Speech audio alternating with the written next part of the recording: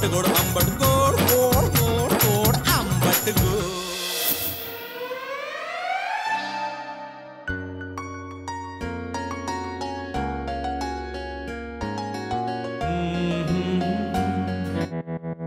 NEET दिसत नाही का तुला?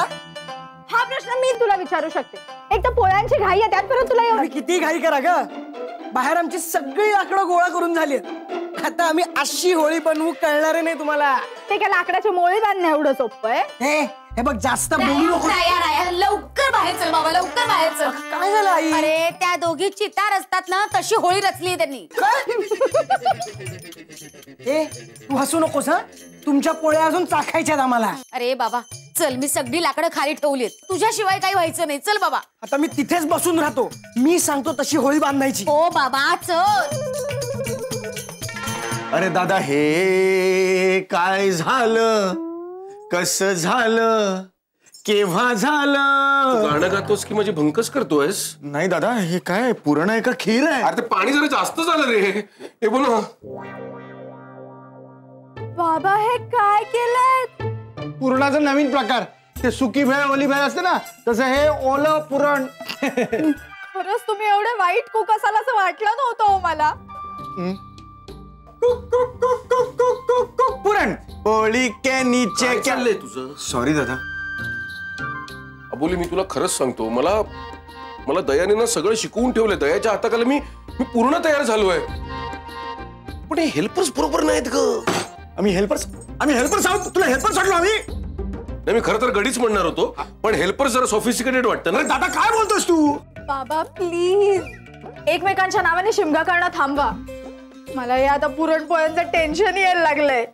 लवकर पताका वगैरे झाल्या का लवकर काय हळू बोल हळू बोल काय?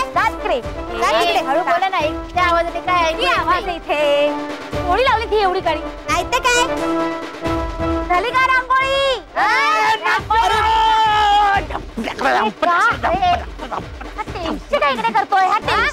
रिक्षा. आता भिक्षा कशाला मागायला जायचं? इकडे या. हा। बघ अरे काय तमाशा चाललाय? तू काय आमचे कानाचे पडदे फाडायला आलेस? एवढे मोठ्यांनी गाणी वाजवतेस ते? अरे कानाचे पडदे फाटले तर शिवून देईन. आपल्याकडे टेलर आहे अरे नाचतोय बघ कसा. जास्त बडबड करू नकोस. तुला सारख्या सारख्या मार खायची लाज वाटत नाही का रे? हे बघ ताबडतोब गाणं बंद कर नाहीतर आत्ताच तुझी धुळवर करीन. ओ चिरंजीव विध्वंस. माझे पाहुणे आहेत ते. त्यांचा अपमान नाही करायचा. आम्ही आमची होळी साजरी करतोय. तुम्ही तुमचं काम करा. नाचाव टेंगशे. ये या आता थांबतो का? जो तुम्ही प्राणी आणलाय ना? हा जर ह्याच्या पुढे वळवळला तर होळी पेटण्यात याच्या कानाखाली पेटवीन. अपमान. माझा अपमान. बघ आता काय होतंय ते. रणजित अरे काय काय फालतूगिरी चालली आहे? अरे तू जर तुझी होळी खेळू शकतोस तर आम्ही आमची होळी नाही खेळू शकत. अरे पण रंगपंचमी उद्या आहे. त्याचाच रियाज करतोय. त्याचीच प्रॅक्टिस करतोय. आणि आता आम्ही रायाला भिजवणार तू आता स्वतःला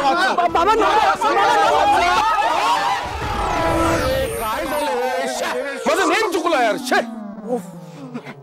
चला चला. आधी घरात नैवेद्य दाखवूया आणि मग इकडे येऊया. चला, चला, ठीक आहे चला, चला चला. Sorry sorry enjoy enjoy Holi hi विद्वान। ती होळीची तयारी झाली। पण अजून होळी पेटायची आहे. पेटायचे म्हणजे? मी टायर आणून ठेवलेत. टायर कशाला आता? अरे येड्या ते टायर होळीमध्ये टाकले ते जळायला लागले की त्यांचा वास पसरेल. मग आपण यांची बदनामी करायची सगळ्या वाडीमध्ये. की हे होळीमध्ये टायर जाळून पर्यावरणाला हानी पोहोचवतात.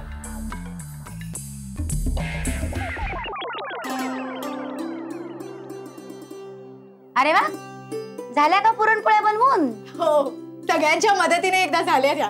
हो पण अं, पण काय? मला काहीतरी सांगायचं होतं. नेमकं विसरलो मी. आठवलं की सांगतो. बरं बरं ठीक आहे. दादा नैवेद्य दाखवताय ना?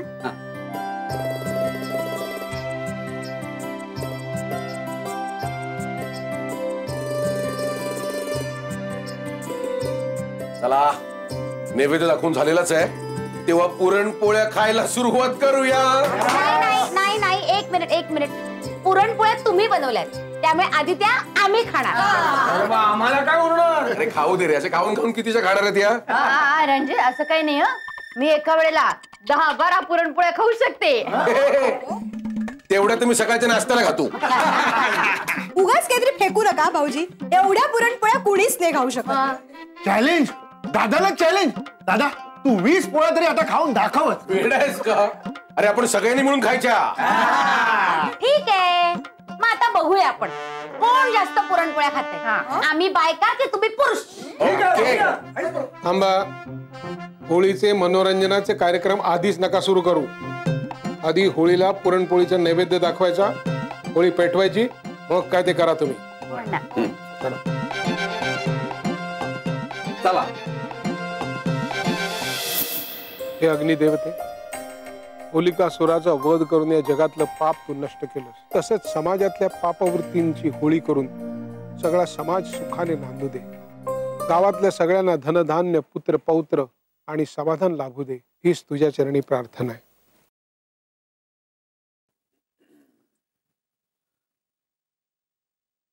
पूर्वी ही होळी पेटवण्याचा मान दामिनीचा होता. अहो हा मान रायाला द्या.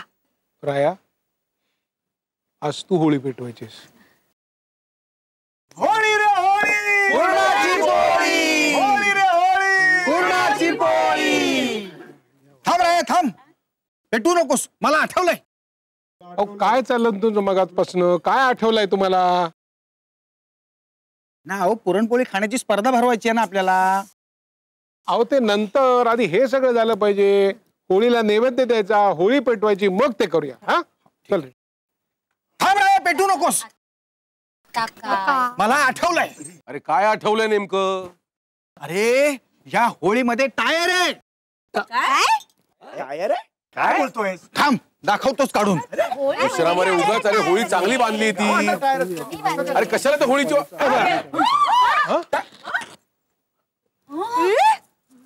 टायर? हो. कोणी ठेवलं? त्या दोघांनी. टेंशा आणि नागो काका. हृदय जरा नारळ पकड. धन्या जर नारळ पकड. तूच धर. धन्या तुला कळलं ना काय करायचं ते? हो कळलं. चल.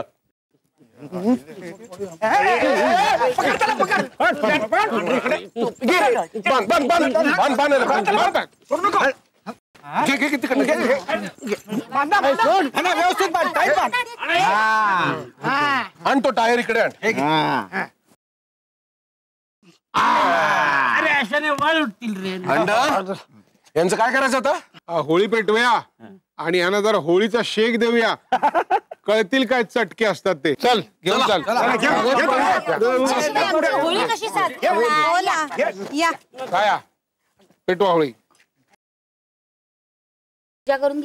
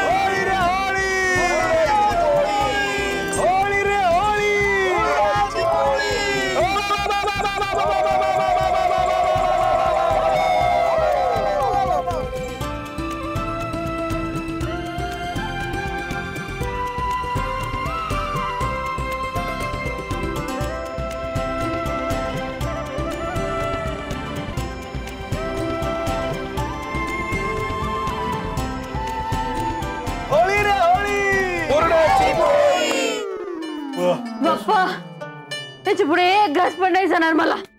हो ना माझ्या तर स्टमक मध्ये वेकन्सीच नाहीये. जागा! नाही नाही. आपल्याला हरून चालणार नाही. अजून एक तरी पुरणपोळी मी खाऊ शकते. तेवढी जागा करते मी पोटात अशी निर्माण. अहो त्यानं सांगा. बायकाने हरून चालणार नाही खा म्हणावं. खा. आमचं धन्या पण कमी नाही. धन्या हृदय उचला पोळी.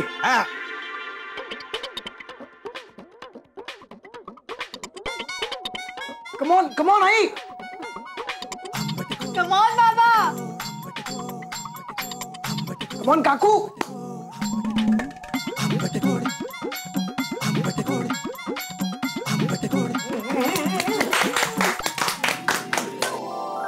सामना बरोबरीत सुटला.